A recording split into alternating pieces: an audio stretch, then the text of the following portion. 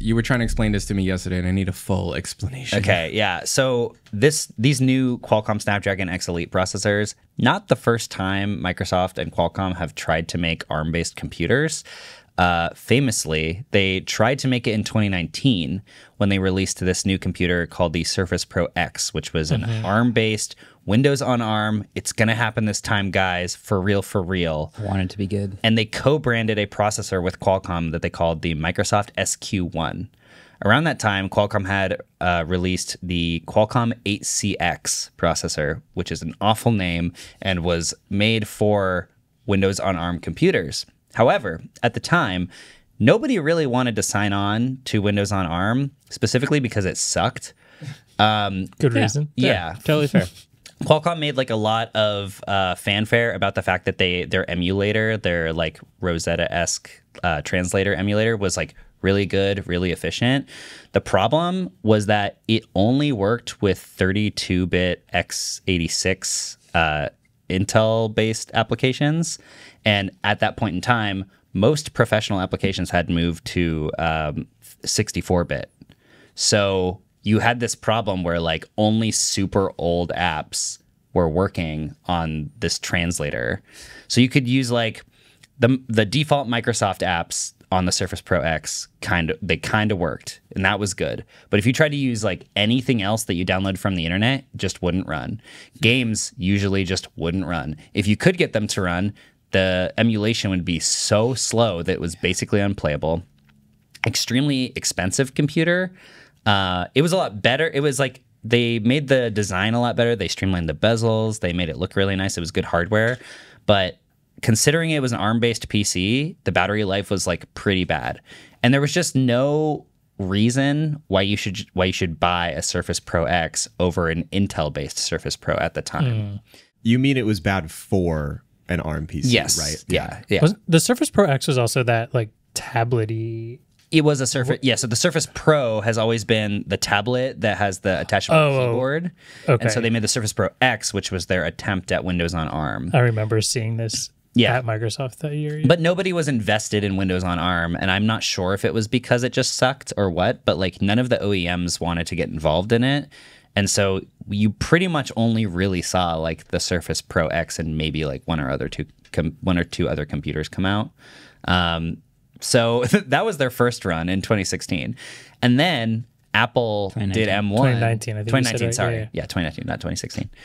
And then Apple released M1 and has just been totally smoking them for like so many years now that they're finally like, okay, guys, we really, really, really need to actually make this happen. Guys, like for real this time. For We real this do time, for real, for real. This whole M chip thing is like pretty good over there. I Yeah. should probably do something about it. I think this just showcases like the difference between vertical integration and being someone like Microsoft slash Qualcomm slash Asus slash ASRock, who is like all trying to work together to make something that works versus Apple, who just makes everything themselves. Like it's cool. I love the idea of separation um, and having all these different companies like come together to, because then you have choice. You have a lot of choice, but it makes it very hard to make these things work. There's clearly pros and cons of both situations. Yes. Um, so anyway, on Monday they held an event in Richmond that again was like part Surface event because they did announce a new Surface Pro, which I think they just called the new Surface Pro, which is funny.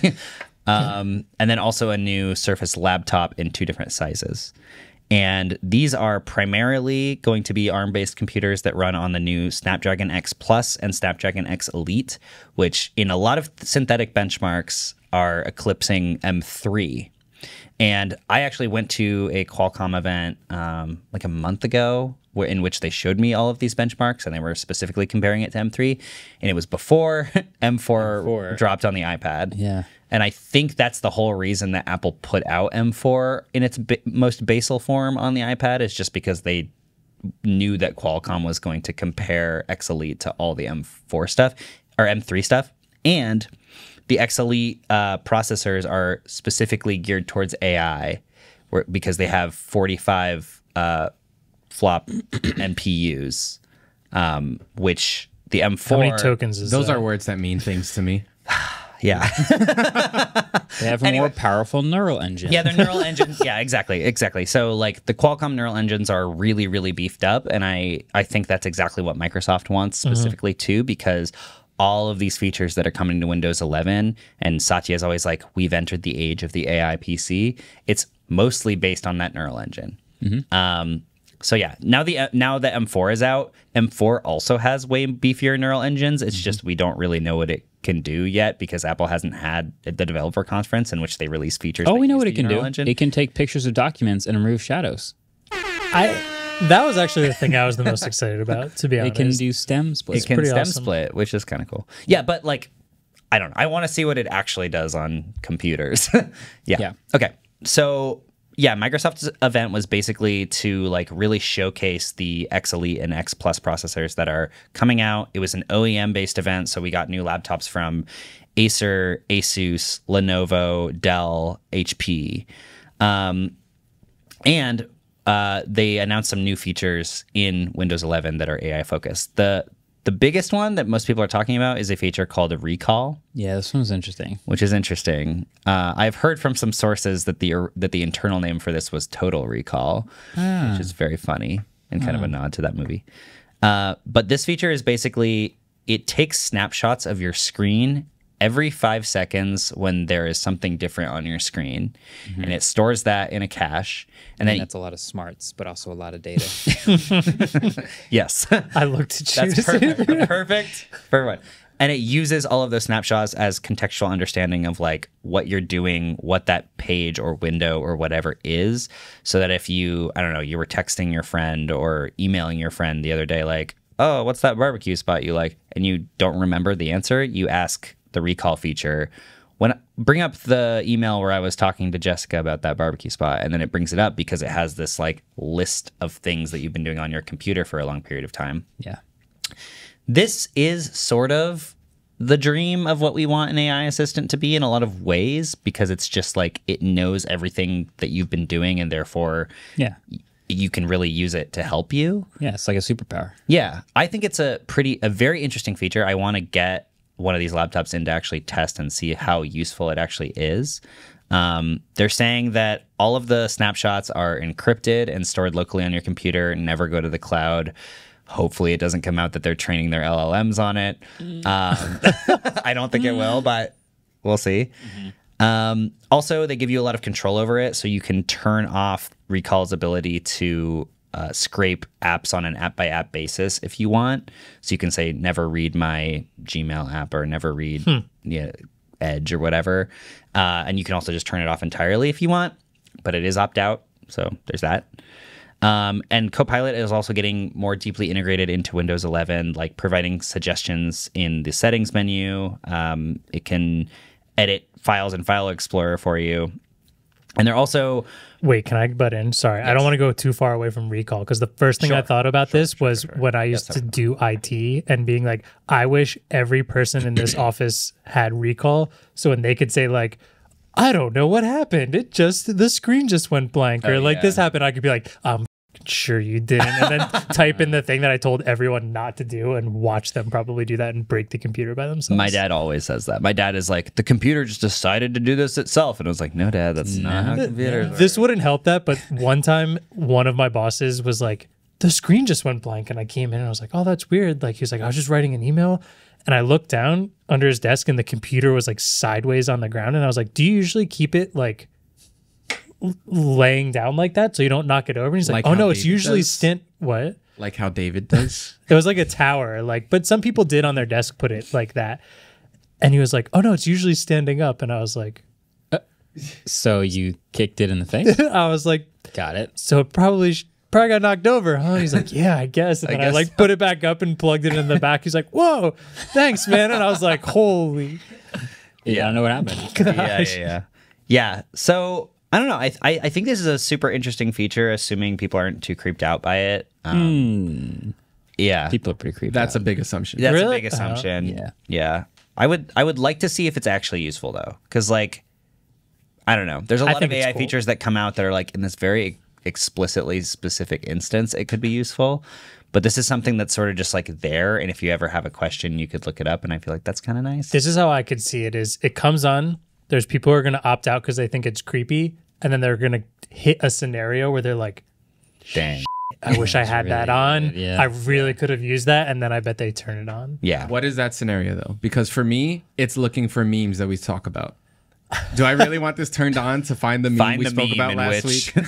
That yeah. I mean like find a deleted tweet that you saw and you're like, oh, that was really funny, but now it's deleted, or like I didn't even think of that. That's the worst thing point. about threads is that when you open threads and you you like instinctively go to refresh it but then you see the first thread on the page and you're like oh wait i'm kind of interested in that and then it refreshes the whole thing and you're like you'll that happens on Twitter You also. will never see that ever again. What's Twitter? That's or I mean I've had YouTube also where something's been on the recommended page on the front and like as I'm clicking refresh, Yeah. I'm like, wait, oh wait, what was that one? And I'll never find that video ever again. Yeah, Um, recall. Yeah. recall. Yeah. Solves all the terrible social media UX designs. You but could literally be like, "What was that fire post that I just missed while I refreshed?" And I'd like, Yeah. oh, you meant this one. Yeah. So I'm I'm very interested in how Intel responds to all this because Intel is just like an aging, aging, aging company that like Qualcomm and ARM were always going to be the future, right? Like obviously phones got faster and had better battery life and that's obviously what we eventually wanted for computers and Apple did it and it worked. And so now Microsoft and all of their OEMs are like, all right, we're really, really putting our best foot forward this time, and this is actually going to be the future. And it is nice to see that a lot of OEMs are actually making a bunch of laptops that are uh, that are X Elite powered, because last time it was pretty much just Microsoft, and the the one laptop they released for it sucked. So These laptops look sick. they look good. I want like five of them. yeah, so we- the Surface laptops. Or, yeah. So we can talk Those about included? the new updates. Um, there's a new Surface Pro, which again they're just kind of calling the Surface Pro. It's the first time they've put an OLED panel in the Surface Pro as an option. Although the OLED panel does add five hundred dollars, um, Mm-hmm. which is quite a lot. Uh, but it is available with the Wait, it, no, no, no. But you also get the the upgraded chip with that five hundred. yeah you get too. yeah you get the X Elite version. Oh, so it's not Yeah, yeah, only It's a five hundred dollar just- upgrade. Sorry, okay. yeah, yeah, yeah, Yeah, true. Dave. Okay, okay, yeah. Yeah, there's the X Pro chip and the X Elite chip. The X Elite chip is a lot more powerful. Um, so it's nice to get the OLED in there. And then they also announced a new Surface Flex keyboard. So prior, the Surface the Surface Pros were like they would be a tablet, and then you would attach this keyboard that was also kind of like a folio. We've seen that happen in every tablet known to man at this point. Um, but the keyboard had to be attached to the computer in order for you to use it as a keyboard. Now you can wirelessly use it when you take it off of the tablet, which is kind of nice. That's one of those things that felt like it should have just been happening the whole time. yeah, but they never had a battery in the keyboard. It was just Okay. powered by the pins. I also like that the keyboard. it looks like there's an Alcantara version, and I kind of miss the the old Surface laptops that had that The option. Alcantara, yeah, Yeah. yeah. The Alcantara was nice. I have a question, David. Sure. About the Surface Pro. So, is the Snapdragon X Elite a like sort of unified platform in the same way that Apple's ARM platform is, where the memory and the st- and the storage and the motherboard and the graphics processor are all like on one Yeah, I Board? I believe so. Okay. Then, assuming that is true, uh, you can only put 16 gigs of RAM in this thing, which makes it not a very pro device. Do you have the super fast mem? Does it seem like we'll get the super fast memory swap on this that renders RAM a little bit less useful, or is this another Microsoft product that they're calling a pro product and then just expecting people to uh, Yeah. go make a sandwich? Microsoft Pro products have literally never been pro products, almost ever. The Surface Pro series has never been fast. yeah. So, you know, Mm-hmm. it's more about the flexibility, I guess. I'd forgotten all about the. I knew they had some sort of tablet, but I forgot it was called the Pro. So when you said Surface Pro before, I just assumed it was like. The, I just always think it's just like the nicer laptop, oh, yeah. seven or It's whatever. the but like, the tablet that has version. the touchable. I'm super excited about this thing. As someone who at home uses their Asus ZenBook Fold and really enjoys it, this just seems like a better version of that. But without, like, what am I supposed to do with 16 gigabytes of? I can floss my teeth with 16 gigabytes of RAM. You know what I mean? That's nothing. This has 32 gigs. I'm specking one out right now, and the highest option is Do you have X Elite? yeah. Hold on, let me double check all this. Okay. Um, well, that Three new Chrome tabs.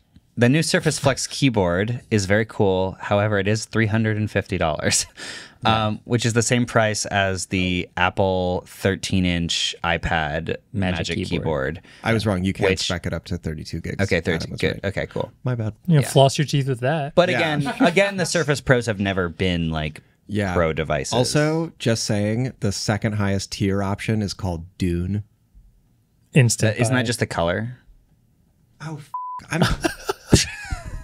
Misinformation king over here? later. I'm off the podcast. Wait, also I'm got a thing up right here that says Surface Pro Flex keyboard with slim pen, four hundred and forty Is that because you're getting it with the pen? Is there a way Is to it? Is buy the separately pen- the pen? Like 90 bucks. Wow. Or maybe if you buy it with the computer. it's I keep also reading this as slime pen, and it's so much more interesting than 450 slim is pen. insane. Yeah. That's a lot. I don't know. Yeah, it's it's a lot of money, and I just gotta say, both to Apple and Microsoft, stop charging three hundred and fifty dollars for Andrew, a let's be keyboard real. You've folio. spent more on keyboards. Do you know how sick but of a that's keyboard I could not build the for same four hundred and fifty dollars? Yeah, yeah, that's true. It's not the same thing. Maybe I should do a short of crap. that. This is extortion. like, how much keyboard can you get? Uh, Especially wanna build- considering on the Surface Pro, you can barely use that as a computer without one of the keyboards. You kind of need it, and you that's can get also the cheaper true about older the one. iPad. But it's like Yeah, the iPad Pro. It's literally called the Pro, but like most people. But the iPad is also focused around using it as like a touchscreen tablet device. And like adding the keyboard is sort of like, I want to make this a computer now. Whereas a Microsoft tablet, is not as useful. Windows is not that useful as a tablet. It's just they try they try to make it that way, but it's just not. it's mouse and keyboard first. yeah. I have to say they do a good job at showing some examples of where this now new wireless keyboard would be uh like nice. One of them is in here he has like the tablet on a coffee table with the kickstand and he's using it on his lap, but like that would be awesome on a plane because now I have it on the thing, but Yeah. I'm not the one typing my keyboard, making the guy's You can have seat that in, in front lap. of you, like shaking, put in your lap. And then he also has this cool situation where he has the tablet semi propped up using the stylus, but then Mm. he still has the keyboard to the left with his left hand to do shortcut keys. That's cool. I bet Tim would find that pretty interesting. Yeah. Except it's Windows. Yeah. I figured it out. You, as of on the pre-order page, you can only pre-order it with 32 gigs of RAM oh. if you choose the platinum color. The Pro Platinum. Most boring Otherwise, color. yeah. Otherwise, if you choose sapphire, black, or Dune, Why is this? We were just talking about this with Apple. If you get the Pro versions of have to thing, you get boring boring, color. colors. Yep. It's because those are the most popular colors by far. But I do Because you don't offer us better colors. anymore. Mystic Bronze. Mystic. That's an old an old one. Okay. Call back. Call back. okay, in the laptop, we also have a new Surface uh, laptop, and there are two sizes, um, which is nice. They they made the smaller size slightly bigger. It's now 13.8 inches, and there's also a 15 inch, also both OLED, both 600 nits Not 10. not tandem. uh, starts at 16 gigs of RAM with 256 gigs of storage for 99 999. I also want to say, in order to use Recall, you have to have 50 gigabytes of storage available. Okay. Which, if you buy the 256 gigabyte model, that means you only really have Two, which is gigs. kind of less than probably less than 200 because the OS takes Mm-hmm. up storage. You're probably only really going to have like 150 gigs. Now, the benefit of the Surface laptop is that there's a slot, and I think on the Surface Pro as well, there's a slot on the back where you can swap out the memory extremely easily. Um, you can add in memory just on the back of the computer. memory or storage? Storage. Sorry. Okay, yeah. Sorry. Storage, not RAM. Sorry. That's good because I floss my teeth with 150. I don't even know what that, how that analogy would work, but you know what I mean? such a it's so thin. It's so thin that you Look, could. it's yeah. so it's like nothing. It's nothing. It's It's nothing. It's worthless. It's like I, 150 I wake up and I blow my nose and 16 gigs of RAM is right out. One thing really cool that I think is also worth pointing out, Dave 2D pointed it out in his video, mm-hmm. is the bottom of the screen now is rounded. So Yes. all four edges are rounded. And I never noticed Oh, that. I And now I can't not see that on my MacBook. Yeah, I was about to that say it's that not rounded the at the MacBook bottom. is rounded at the tops, but on the bottom it's not. I never noticed. And is now it bothers me so much. This is bull- so you don't notice it as much on the MacBook because most of the apps round the corners on the bottom, and then the dock makes it so the app isn't full screen unless you're using full screen mode. but it's a lie. But you just don't notice. But yeah, What background am I using? They're darker on the bottom, so They're- it's harder to the see. The backgrounds are always darker on the bottom. Apple it's harder. designers, Yeah, they, know, what they're, doing. They've been hiding They've- those. It's like hiding notches. first came out. Yeah, when the when the iPhone They still do it. Yeah, when the iPhone 10 first came out with the notch, they Dark at the intentionally made yeah the wallpaper is gradient to to Oh yeah. darkness. Notch or dynamic island? Well, It was a notch there. It Well, was now they still kind of like creatively hide the dynamic island with darker colors, but they are a little bit less uh, They're more about it. It's like a feature now, so they want to show it off. It's little the bit. discerning difference in Yeah. the Like new AI iPhone. is hallucinating. yeah, It's a feature. not a bug. Uh, yeah. Enjoy it. So the laptop for me is a lot more interesting than the Surface Pro um, in this scenario because they actually upgraded like a lot of things on the laptop that is very nice. Um, they now have a haptic touchpad, very similar to the MacBooks. So it's kind of the same thing where there's not actually a physical button, but it's a motor that presses back on you. I'm very interested in seeing if that's comparable to the MacBook's touchpad. It's probably about the same, which is pretty cool. Um, there are now two USB C and one USB A, whereas prior I believe it was one USB C and one USB A. Uh, and then they have the Surface Connect charger on the right. And they're saying that it can get up to 22 hours of video playback, which is pretty comparable with the MacBooks. Pretty good. Yeah. And this is kind of their big move to unse- try to unseat the MacBook Air as the most popular computer in the world, basically. Because the MacBook Air just sells like hotcakes because everything about it is incredible. Yeah, it's already. I mean, like I I loved my Surface laptop. I don't remember which one it was because all of them look exactly the same, which I don't think is a bad thing. I think it's a really sleek, nice looking laptop. Mm-hmm. I love traveling with it. It was small. It's way easier to carry around than this thing. Yeah. Um, the problem, it will never beat the MacBook Air, but that's not of its own fault. It's that Windows has a million competitors. It's just like why one Android phone is never going to beat an iPhone. Could it's I- like there's way too many different ones to pick from and different price points. Where if you just want a Mac Andrew. Careful. You just mean in pure sales. In pure sales. Yeah. I think it's Oh yeah, yeah. Sorry, that's what I. it's yeah. semi comparable to the Pixel because Google makes Android just like Microsoft Yeah. makes Windows, and then they have a flagship device that they want to show off that OS on. and I don't think normal people care about that. I agree. And they do their best um, as far as vertical integration, but it's never quite as complete full stack as like Apple's mm-hmm. top to bottom Right. thing. Well, Right. this was my question to you yesterday, David, because mm-hmm. I also think the Surface line is very similar to the Pixel line, and Google eventually started making Tensor their own chip. And Yeah. I was asking if you think Microsoft will eventually make. Well, they chip. tried to make their own chip with the SQ1, which was like a custom design chip with Qualcomm, which is basically exactly what Google did with Tensor because Snap uh, because uh, Samsung actually made the chip for them, but they designed it. So it was similar where like Microsoft had a lot of input in the design of the processor for the co-branded chip, the SQ1.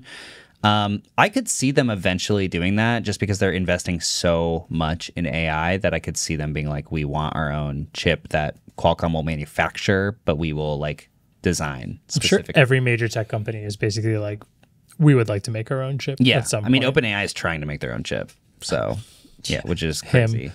Uh, him. Timothy. That's a great. Yeah. They also made the Surface laptops a little bit thicker in the middle so that they could put the Snapdragon X Elite chip, the best one, in it. Um, so now when you buy a Surface laptop, you you get like the fastest new ARM-based processor that there is. Okay. Theoretically, these X Elite processors are extremely good at emulation, have extremely good battery life, and can run everything. Hopefully, they took their blunders from last time and actually made a translator that is just as good as Rosetta. They say it's just as good as Rosetta too. So I really, really am interested in like trying to play games on this thing, right? Because if you want to play Valorant on on this, like it's an ARM-based computer, can it emulate it well? Mm-hmm. You know, like on my MacBook Pro, I play Dota 2 and I get 144 FPS out of it. Now that is compiled natively for Linux and for Mac, which is cool. Um, but it's going to be interesting when it sits emulating. yeah. So, yeah, it was a pretty big event that had like a lot of stuff in it. I think the big things were uh, the new chips, recall, and the refreshed computers. And there's also a bunch of computers from all those other OEMs.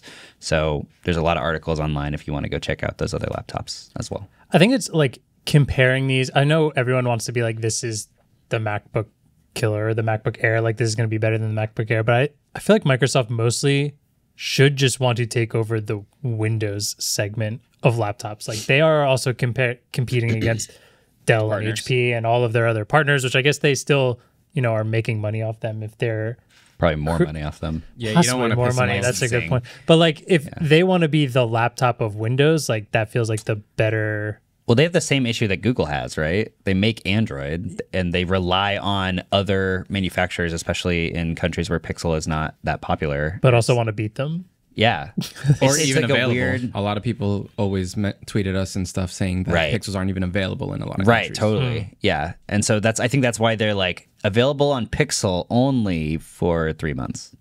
And then everyone gets it because they want other people to they want these other OEMs to be incentivized to still make phones Yeah. and not turn out like HTC or LG And that may- making devices. Yeah, and that may al- that may also a little bit be uh, to avoid the little antitrusty stuff where you can't just. I mean, you can, but you'll get sued if you just build a whole bunch of things only for yourself. Right. Kind of like the way Apple has, like with the Apple Watch. Yeah. Yeah. Yeah, but it's also like Google makes most of its money on Google Play services, and that just means the more Android devices you have in the wild, the more money you're going to make, no matter who makes it. So that's the reason that they haven't really cared about the Pixel that much until fairly recently. Um, and now I think the only reason they're really caring about the Pixel is because the iPhone market share is just skyrocketing so much. So Yeah, I think Microsoft's doing a great job with all these laptops, and it's not just the laptops they're putting out, but in that sense of like being the easier to recommend laptop, they're going into Best Buy stores and making really good displays that are simple. These laptops look really nice. Mm-hmm. They are like the same company making the operating system and the actual computer, and like they're making it just seem way friendlier. And I, I don't know. I've always liked the Surface stuff, even though mm-hmm. I switched to a MacBook. I got to say the sapphire and the dune colors are really good looking. They're really nice. And honestly, it's like it's just exciting to have a viable Windows option now because the only use case in buying a Windows computer in the past has been like one, if you need one for work because you run certain applications that only run on Windows. Two, you need backwards compatibility with old Windows stuff, which is a lot of people. And three, uh, I'm trying to remember the third one. You're a rebel. You're a rebel. you want to use your Oh, gaming, gaming computers, mm. because you want like Yeah. a really good GPU, and also because most games are Windows and and or Linux only, uh, and generally Windows only. And DirectX, DirectX. is backward compatible all the way, baby. Yeah, DirectX. if you want to be like me and use your Surface laptop at the Apple event. yeah, It's always a fun one. And be the only one who got Wi Fi that one time. So that was also Yeah. fun. True rebel. If you want Wi Fi at an Apple event, Yeah. get a Surface laptop. I gotta say, I am extremely lucky that the only video game that I play is natively available on Mac, because otherwise I would really need a Windows computer. I don't know. I gotta say, like, it's really nice that outside of those use, use cases, you can now like think about buying a Windows. Because I, like we were saying earlier, I really like Windows 11.